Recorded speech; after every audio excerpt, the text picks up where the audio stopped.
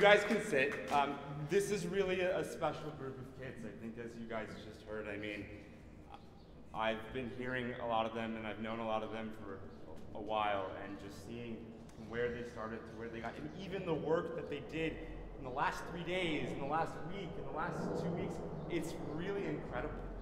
Um, and you know, seeing already some of the relationships that are being made between these kids and um, uh, just the, their excitement over everything that you're doing makes me feel really good. So I want to thank you parents really for, um, it's a team effort, right? And it's, it's all of you guys staying on top of them and pushing them through it because we've just heard why it's worth it, right?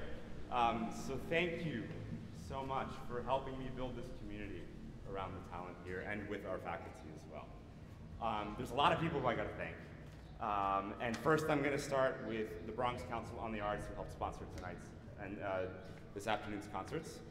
Um, then also Steinway and Sons who gave us this stunningly beautiful piano that has really just made everyone's sound even better. Um, then um, there's a special guest here, one of our board members, Isabel Hidrobo. Um, Thank you, Isabel, for everything you've done in helping me establish this organization.